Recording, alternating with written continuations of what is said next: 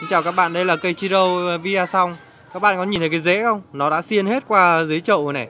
Mình ờ, đang sang chậu cái cây này. Cây này rất là to. Và mình sang chậu này mình rút cái cái cái chậu ra ấy. Các bạn lưu ý nhá. Khi mà sang cây ấy, thì các bạn một tay đỡ ở phía dưới. Một tay các bạn đỡ ở phía dưới như này nhá. Các bạn đỡ tay như này. Đó. Đỡ lấy cây này. Xong rồi các bạn dốc cái chậu lên thì cái đất nó sẽ từ nó tụt ra.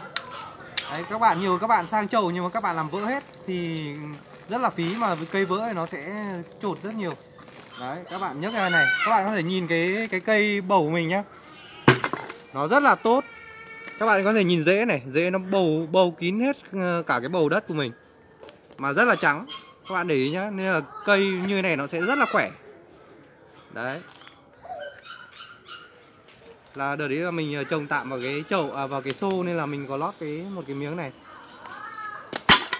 Các bạn nhìn này dễ này. Dễ nó ờ, hơn cả dễ rau cần cơ. Đấy.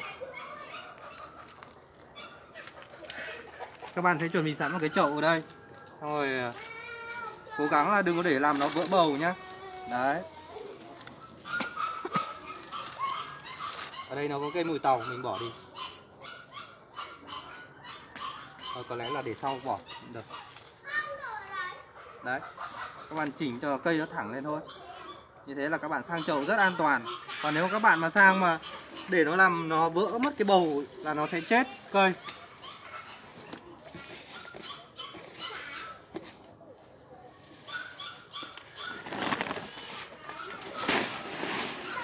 Đất ở đây mình đã trộn sẵn đất rồi.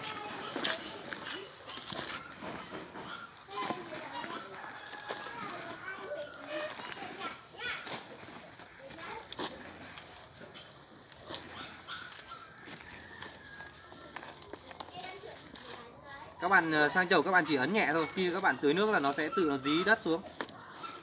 Ấn nhẹ thôi, chứ đừng ấn chặt ấn chặt là nó cũng vỡ bầu đất. Như thế là cây nó sẽ bị héo.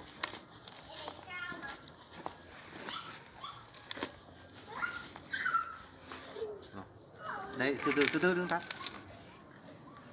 đó. Đây là cây ờ, cây chiro via xong của mình. Bán nó rất là tốt.